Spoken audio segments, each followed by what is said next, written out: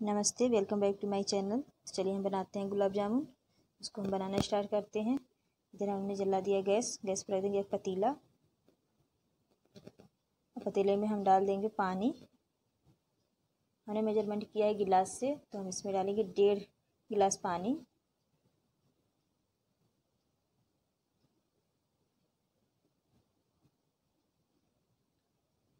अब इसमें हम डालेंगे एक कटोरी के लमसम शुगर इसको मिक्स कर देंगे।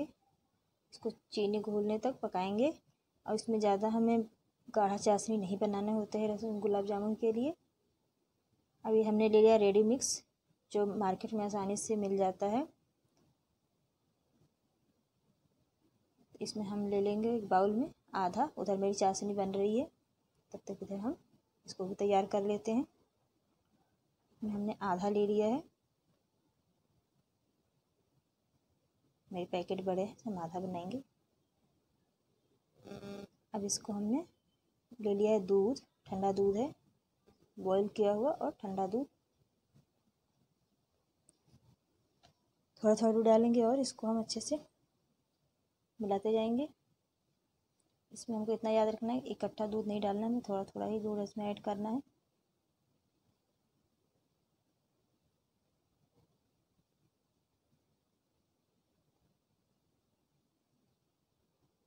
इसमें दूध या पानी बहुत कम मात्रा में ही लगता है।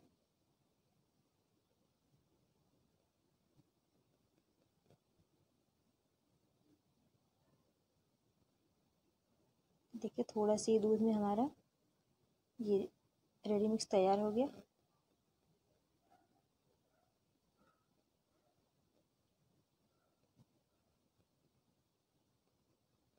इसको अच्छे से हम चिकना कर लिया तो ये हमने, ये हमारा एक चौथाई कप लगा है हमारा दूध। इधर हम चाशनी देख लेते हैं, इसमें हम डाल देंगे थोड़ी इलायची इलायची पाउडर।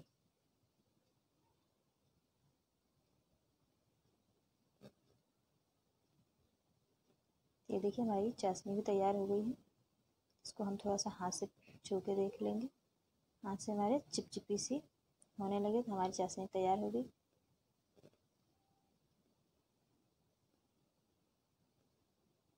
हमारी चाशनी हो गई इसको हम साइड में रख लेते हैं। चलते हैं इधर। तो ये भी हमारा डो भी सेट हो गया है। और इसके हम छोटे छोटे गोले बना लेते हैं।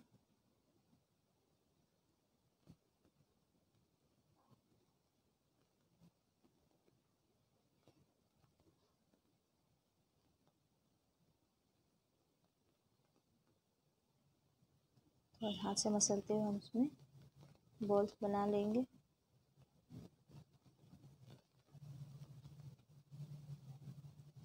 बिल्कुल चिकना होना चाहिए। अगर ऊपर से ज़रा भी क्रैक्स रहेगा तो वो फटने लगता है।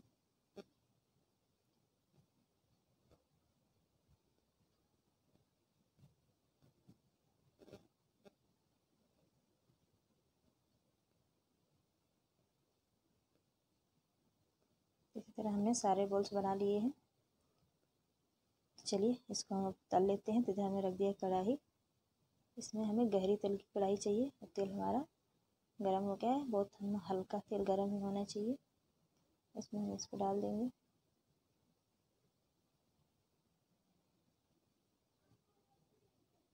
और हाँ आप हमारे चैनल पर अगर नए हैं तो हमारे चैनल को लिए सब्सक्राइब एंड लाइक।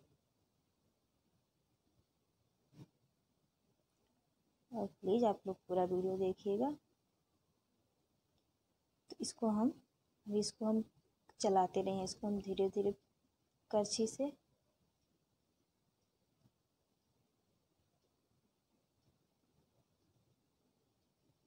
तो हाँ इसको हम बिल्कुल छूना नहीं है।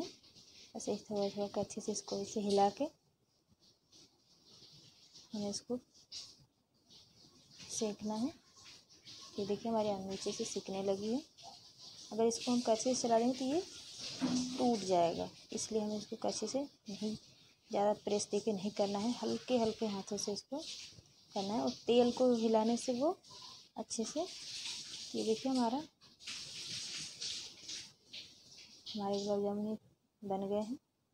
इधर हम डाल देंगे इसको चाशनी में।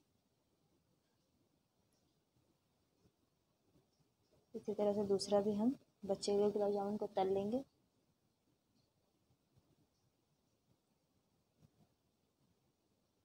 इसी तरह हमने सबको तल लिया है। देखिए हमारे गुलाब जामुन बन के हो गए तैयार। Thank you